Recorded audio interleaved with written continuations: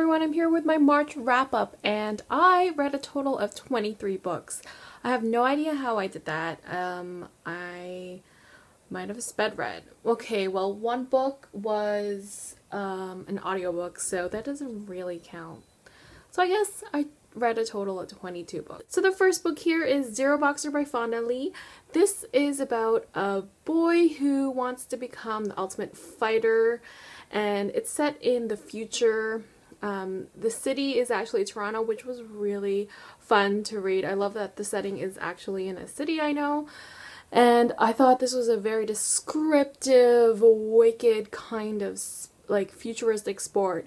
It has, it's basically boxing or um, ultimate fighting in zero gravity so it was kind of hard to understand what's going on but at the same time she's very descriptive and you get this all around story that I thought was really interesting and there's a little bit of mystery in it as well. I gave this one a 3 out of 5. Next book is All That Glows by Ryan Graudin. She's also the author of The Walled City and this is her, I think this was her debut book.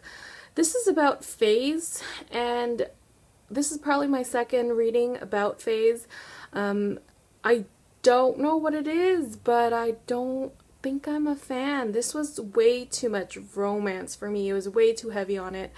Um, I thought that was the entire focus when I really wanted it to be more about who was trying to overthrow the phase and all that stuff. I gave this one a 2 out of 5. This is Ignite by Sara B. Larson. This is her sequel to Defy, and even though I really like Defy, I didn't like Ignite as much.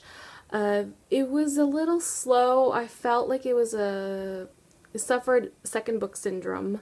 I gave this one a 3 out of 5. This is Etherworld by Claudia Gabel and Cheryl Klam. Now, you know, I really enjoy science fiction, and this one Oh, so many things happened. I was I was just blown away. I couldn't, you know, I couldn't stop reading this one even though I like stopped in the middle because I had some other books to read. After that, I just had to finish it all the way through. It's a lot more exciting. There's a lot more action. There's also a lot more of a mystery and I thought that would be over but it wasn't. I gave this one a 4 out of 5. This is Last Best Kiss by Claire Lazebnik and I thought this was a really cute cover and this is probably why I picked it up. I thought it'd be like a really cute contemporary but lo and behold, I don't know, I was ultimately bored with this one. It's actually a Persuasion by Jane Austen retelling and even though I haven't read that book, um, I'm probably going to have to read Jane Austen's version. This is the modern retelling. But it was just so predictable and it was so long and I was really bored. I give this one a 2 out of 5. This is Lover and Enshrined by J.R. Ward. I don't even know what number book this is. It's probably I don't even know. There's she's so many there's so many books.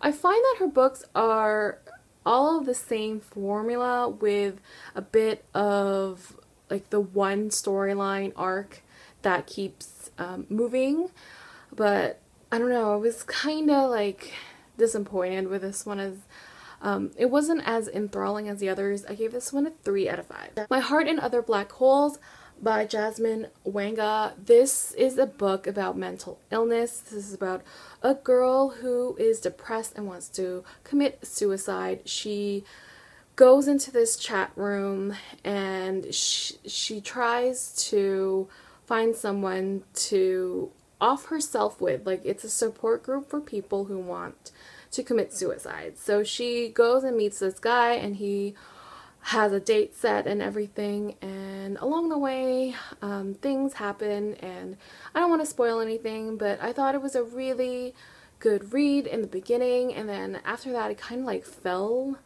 but um, I still really liked it. The writing is really good and I gave this one a 4 out of 5. This is Stones and Finger Bones by Jessica Minyard. This is an indie book I read for a blog tour and this is a fantasy with magic and adventure and all that stuff about a girl who is trying to save her kingdom. Once something like fatal happens, she has to step up and try to, you know, become this girl who is essentially a queen. Um, I really liked her writing. It's very, very like um, descriptive with the castle and everything and all the characters. I just I didn't think they were fully developed. I also thought there was a little bit more modern slang in it and I couldn't picture it in like the Renaissance area era. It was um it was too modern. I don't know why they were swearing in such a modern fashion, but anyway, it bugged me. But uh, 3 out of 5 for this. This is Open Road Summer by Emery Lord, and everyone was hyping this one up last year. I kind of uh, stopped, you know, trying to check out overhyped books, but essentially I decided to read it. And I was disappointed again. But maybe that's just me with contemporaries. I get bored easily. This is a road trip, friendship, uh, romance, I want to say.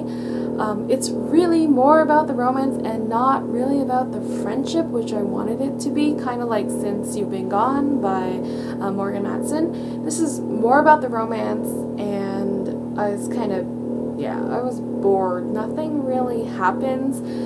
And main character, she annoyed me to no end. She was super, super judgmental. She would say girls were, you know, skanks and sluts and all this like crazy stuff. I could not understand why. She just had so much hate for females. I gave this one a 2 out of 5. I Was Here by Gayle Forman. This is another new release by Gayle and even though I really liked If I Stayed, this one wasn't, I wasn't a big fan. I was not a big fan of this one.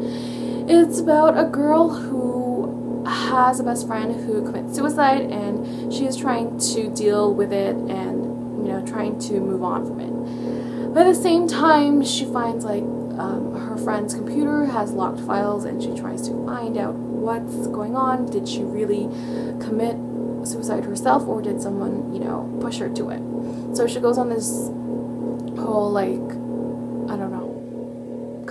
it's like a journey to find herself and and her best friend and all that. But I didn't find that. I thought it was more of a romance again, and it was the most inappropriate relationship I've read in a book. I thought it was it was just so unnecessary and it shouldn't be it should have been more about the friendship and not about the romance. I was really disappointed. I wanted to give this a 1, but the writing isn't abysmal, so I gave it a 2 out of 5. This is Liars Inc. by Paula Stokes and I love this one. This is a mystery thriller um, that I could not stop reading. And when I say I couldn't stop reading, I read it in one sitting and stayed up till 2.30 in the morning to finish it because I wanted to know what happened in the end. It I can't say much about the storyline. I just can say it's about a guy who finds his best friend missing and his girlfriend is yeah, I didn't really like his girlfriend, but I love this book. I thought it was excellent. Go check it out. I hope you guys like it. And now onto the physical books. I have Love in the Time of Global Warming by Francesca Lia Block. This is one of my favorite covers ever. It's just gorgeous. This is about um, the end of the world and she is basically trying to survive. It is a survival story. But at the same time, when I read the description, it's actually a retelling of Ulysses. And I don't actually know what that is about because I haven't read it. But if it's anything like this book, I think I would enjoy it. There's a lot of like craziness in it. There's like monsters. And I thought it was just a kind of different twist to post-apocalyptic books. I gave this one a 3 out of 5. This is one book I knew that I had to read. I dropped everything that I was reading just to read it. This is Finding Audrey by Sophie Kinsella. And it was really weird to uh, read a book where Sophie is touching upon something like serious, more serious than her comedic tone. This is about a girl who is trying to deal with her social anxiety and there's this boy who is her brother's best friend who comes over and changes all that.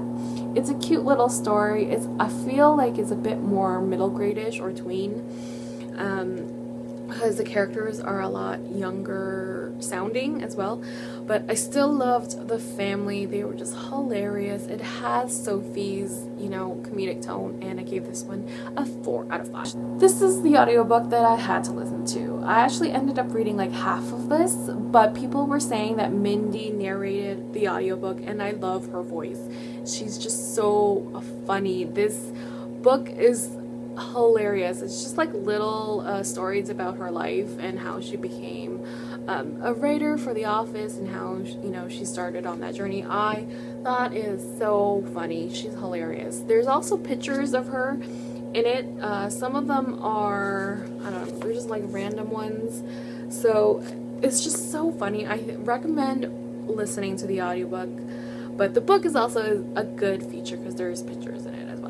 I gave this one a 4 out of 5. Bared to You by Sylvia Day. This is the book that was being compared to Fifty Shades of Grey, and I wish I kind of read this one first because it really is similar to Fifty Shades of Grey, but it actually has kind of a story, and the writing is loads better than E.L. James. I'm sorry.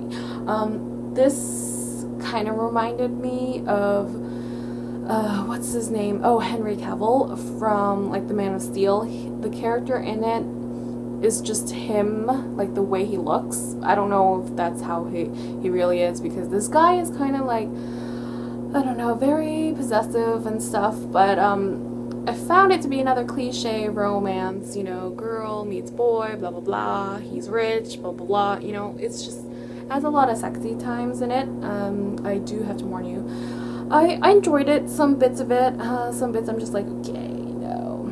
I gave this one a 3 out of 5. This is Skinny by Iba Kal Kasilik? I can't, oh. Anyway, um, the reason why I wanted to read this was because the girl in this book, her name is my name, and that actually hardly ever happens to me because the spelling is always just like one L or whatever. But um, it's about two sisters who are on like different paths. One is um, basically self-destructive. She she's just you know the troubled teen and then there's um, the other one who is a medical student trying to become a doctor and it's, it just goes dual point of views and one of them is anorexic so it's kind of hard to read those parts but at the same time um, I was a little bored. There is not much of a story in it. Um, I think I gave this one a 2 or a 3 I guess I was on some sort of like romance kick because I started this one. This is One Tiny Lie by K.A. Tucker. Um, this one I really enjoyed even though some of the the decisions, actually most of the decisions that she makes in this book was insane. This is um, Livy's story. This is the younger sister of the other character in the first book. I thought she was going to be like, oh, you know, I'm not going to do all this crazy stuff. But no, she does all of the things that you're not supposed to. And I can understand why because she's always, you know, deemed as so perfect. She does like she messes everything up in this one and it was kind of hard to read but at the same time it was entertaining. Um, i thought it was really good. Um, it was it was very cliche as always but um, i thought it was cute. They had chemistry. I gave this one a four out of five. The sin eater's daughter by melinda salisbury. What can i say about this one um, it should have been titled something else. It really didn't have much of the sin eating as much as I hoped it would be. I thought it would have been better from the villain's point of view because she is kind of insane. The the queen who is the villain is just oh she's very very evil and I thought it would have been more interesting to read about that one. I was very bored with this one. Um, I know lots of people DNF'd it and I wanted to, but I just kept going anyway. Um, I don't know if I give this one a 2 or a 3. I think I was a 3 because the writing is very good. It's just, there was no story. Like, it just appeared in the end and I I wanted more from it. A Great and Terrible Beauty by Libba Bray. This is a historical fiction novel and I didn't know what to expect about it. I do really like boarding school books.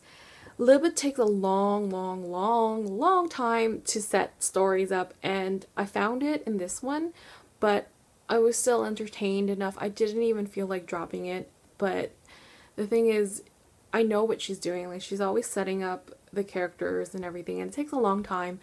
But I really liked it. I still gave it a go. This is um the first book out of the trilogy and I'm going to read the second one which I hear that is way more um, engaging than this one. I gave this one a 3 out of 5. I read Half Bad by Sally Green. I wanted to read Half Wild before March ended but that didn't happen. Um, this was an interesting take on witches and shapeshifters and all the like.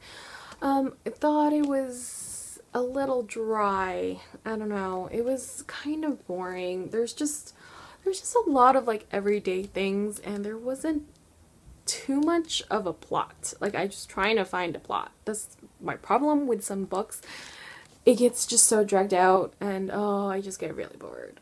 This is a 3 out of 5. Control by Lydia Kang. I really like this one. I mean, I was surprised at how much I liked it. It is a science fiction novel about a girl who has a father for a science as a scientist and he actually creates these kind of mutations and people and you know all that stuff happens and she tries to escape the people who are trying to find her and it's it's like a chase and you know running and chasing kind of novel and I love those.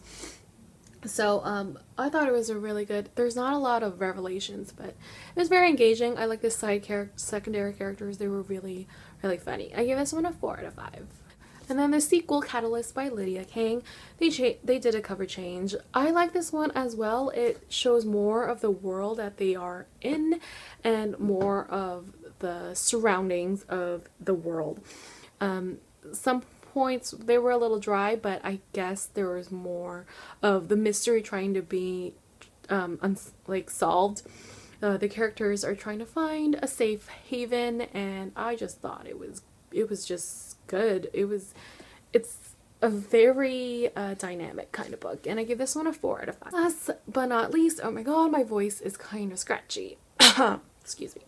This is Boundless by Cynthia Hand and this is the book I kind of kept off from reading because it's the last one. I wanted to know how everything ends between, oh gosh, I forgot their names. Clara and Tucker and Christian and oh like there's a huge love triangle in this one but I was always gunning for just the pair and yeah. It was it was a good ending. It's it gave me like a smile at the end of when I finished it so it it was yeah. It's a cute little romance slash like angel story.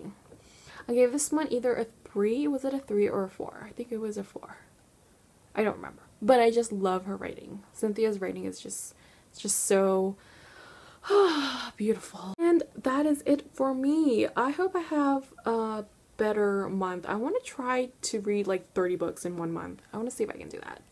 Until next time, bye book nerds.